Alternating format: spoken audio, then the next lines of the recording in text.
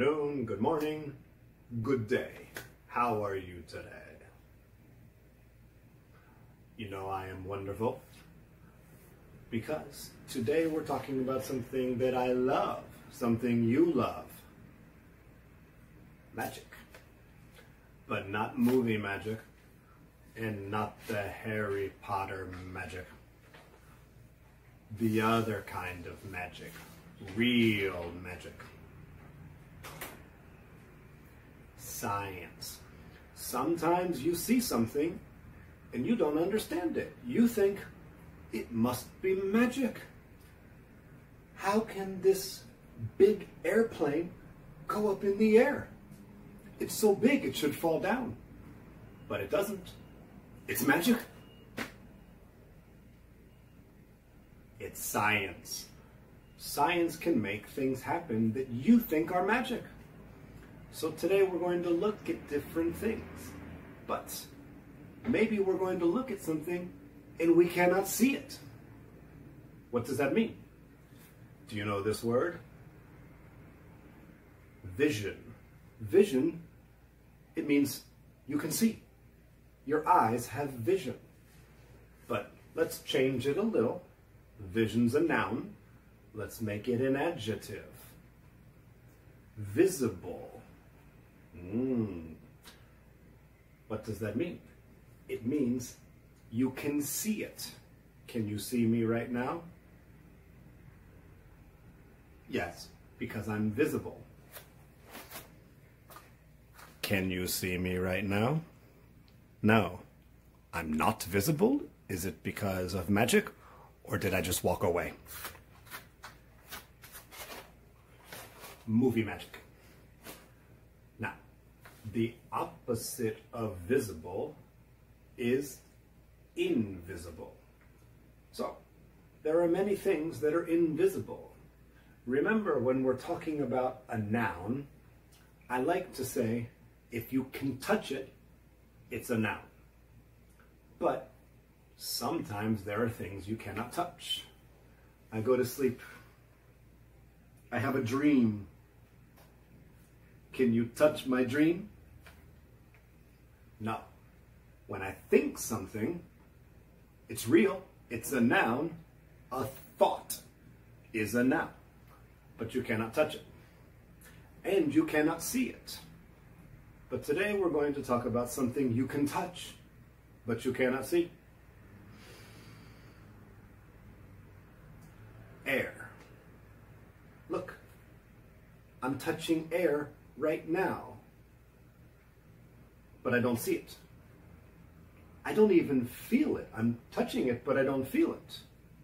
Sometimes we feel air, we feel the wind, but can you see the wind? How do you draw a picture of a wind, of wind?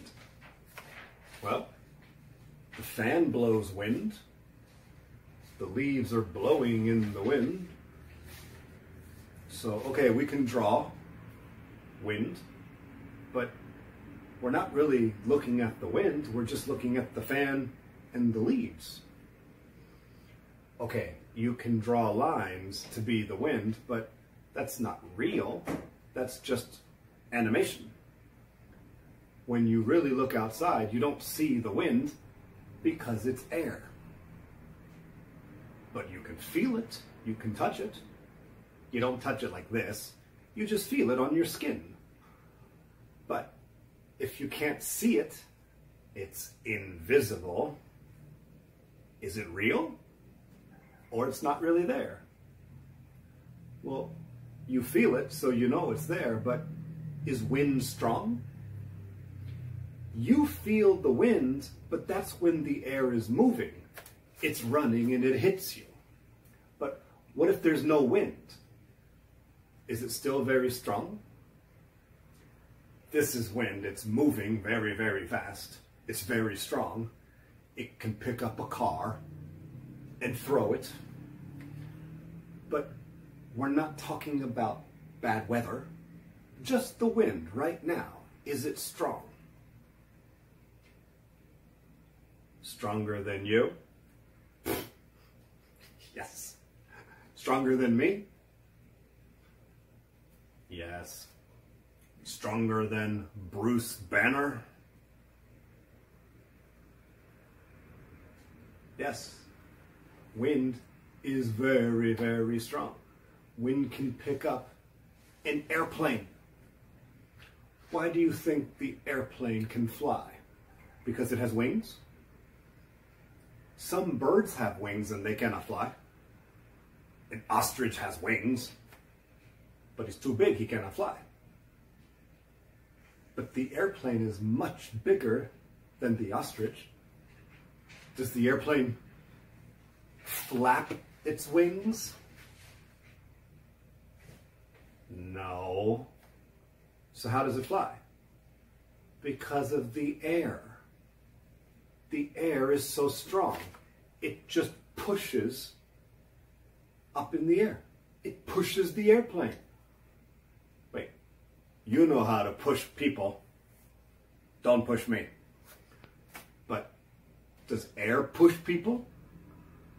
Well, yes, that's the wind. But even with no wind, it can push an airplane up. How can air be so strong? Well, we can look at an airplane later. First, let's just look at the air, even though we cannot see it. We're going to look at it, but we cannot see it. Hello, you are looking at my television, and you can see me. Hey, now stop looking at me. Please look at this cup. It's called a measuring cup. Do you remember what measure means? We measure with a ruler, but you cannot measure how much water you're drinking with a ruler. You need a measuring cup. It has a ruler on the cup. So, in the morning when I'm drinking milk, I can put my, sorry, when I'm drinking coffee, I can put milk in here so I can make a latte. Okay, you understand. The cup has a lid. But wait, the lid has a lid.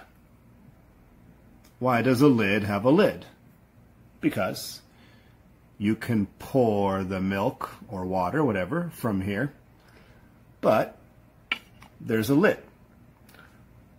Now, we're going to use science to show you that air is real. You don't see the air, but it's real and it's strong. Let's take take off the small lid and the big lid. We can put it on so easy. But if we put the small lid on the big lid, it's hard to put on because there's air inside. So here's what we're going to do. We're going to try to do it fast. Ready?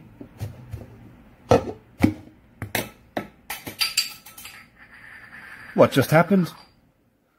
The small lid went flying up in the air. Was it magic? Uh, no, because the holes let the air go, so it's easy to put on. But when you put this on, there's no air going through, so the air will push. Ready? Is that cool? Is it magic? The first question, yes, it's cool. The second question, now, it's not magic. It's science. Now let's talk a little bit about the swimming pool. But remember, this is not swimming class. You're not learning how to swim. We're just going to talk about one part of swimming. Because you already know how to swim, right? You can swim like a fish. You can swim like Aquaman. You can swim like a horse. Wait, can a horse swim? I don't know. No, I think horses cannot swim because they're too big. Just like an elephant, they're too big, they cannot swim. a horse is like a camel. They don't even drink water. They're they're scared of the water. If they see the water, they just run away and they run away very fast because they're horses. So, we're not talking about swimming. We're not talking about how you get in the pool. You know how to get in the pool. There are many different ways you can get in the pool. Some people like to go head first. That's called a dive. Do you like to dive into the pool? Well, it's fun to dive, but it can be scary. It can be dangerous. You have to be careful if you're diving into the pool. So it's better to go feet first. But if you'd like, you can go down a slide. It's called a water slide. Is it safe to go down the water slide into the pool? Well, maybe yes, maybe no. Just be careful no matter what you do. But any way you get in the pool, you can slowly walk in, you can go down the steps. We're not talking about that. We're talking about how you get out of the pool. How do you get out? Do you just fall out of a pool? Do you jump out of the pool? No, you cannot do that. You have to push to get out of the pool. Remember, we're talking about pushing. The air pushes an airplane. When you get out of the pool, you put your hands on the ground and then you push and what happens when you push down? You go up. That's why the exercise is called a push up. But you're really pushing down, and then it pushes you up. So the ground pushes you up, just like the air pushes the airplane up. Now, I get out of the pool a little different from you and the penguin. I push up and I bring my feet all the way up into the air, and then I walk on my hands to get out of the pool. And then I go do my homework. Now, maybe that's too hard for you, too difficult. That's okay. You can just do it the easy way. But we're really not talking about the swimming pool today. I just want you to think about that the way you're pushing down on the ground. That's what the airplane is doing to the air. It's pushing down on the air. What part of the airplane? Is it the airplane's tail? No. Is it the nose? No. Remember, an airplane has a nose just like you. An airplane has a tail just like you but it's the wings. The wings of an airplane are pushing down. But wait, they don't flap. Remember, a bird flaps its wings. That's why they can fly, because when they flap their wings, they're pushing down on the air, so the air pushes them up, just like getting out of the pool.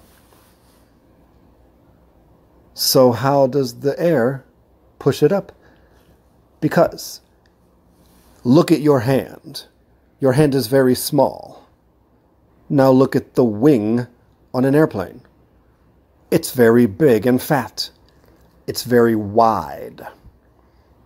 So, when it's wide, it's pushing down more air. That's how it pushes up into the air. Think about ping pong. Look at the ping pong paddle. And now look at a tennis racket. The games are a little different. So, which one do you think is hitting more air? The tennis racket is bigger, but it has lots of holes. The ping pong ball, sorry, the ping pong paddle is small, but there's no holes.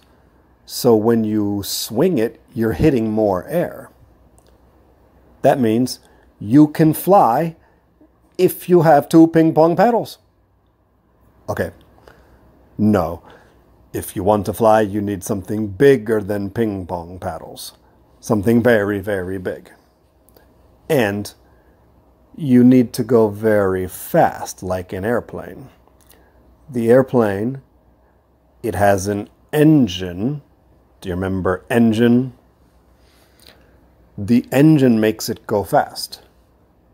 And the wings are pushing on the air very fast. So that's how the air can lift the plane into the air. That's why it's called an airplane. Do we understand?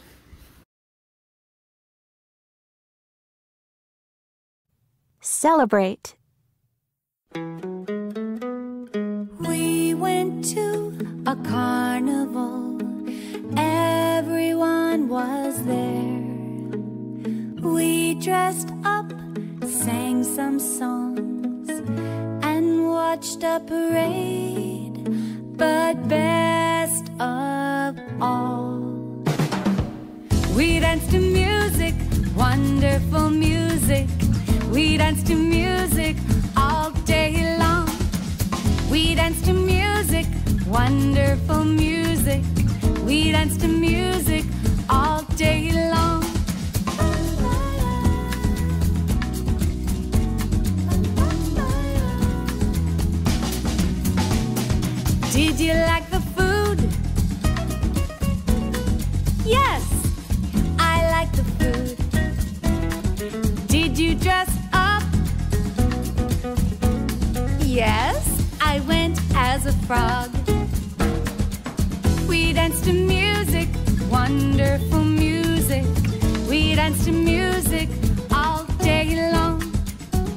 We danced to music, wonderful music.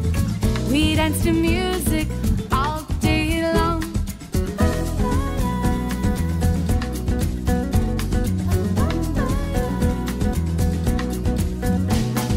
Did you like the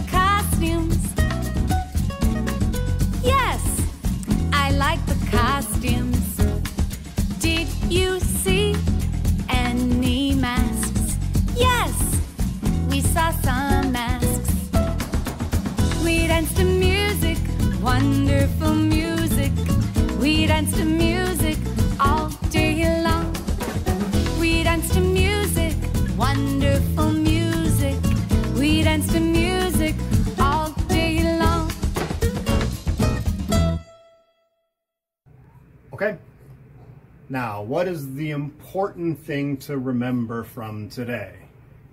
Is it the way I get out of the swimming pool? In my bikini? No. The most important thing is one, magic is not real. But when you see something that you think looks like magic, it's science. And remember, just because you cannot see something, air, it's real. It's there. It's right in front of your face. It's just invisible. And it may be very, very strong. Now, we said the wind is so strong it can push an airplane up in the air. It's so strong it can pick up a car. So you already know how strong the wind is. But if you want to push something up, you cannot just use your hands because your hands are too small. I have big hands, but are they as big as an airplane? As an airplane's wings? No. Bird's wings can be very small, but is the bird heavy or light? The bird is very light, so it's okay that their wings are small. But the airplane is very heavy, so it needs big wings to push lots of air. So, just remember the ping pong paddle and the tennis racket, and you understand if you want to fly, you cannot use a tennis racket. But the tennis racket can go faster because it's not hitting the air. The ping pong paddle it's hitting so much air, it will go slower because air is a real thing. You're touching it right now, you just don't know it. Okay? Class is over. See you next time. Bye bye.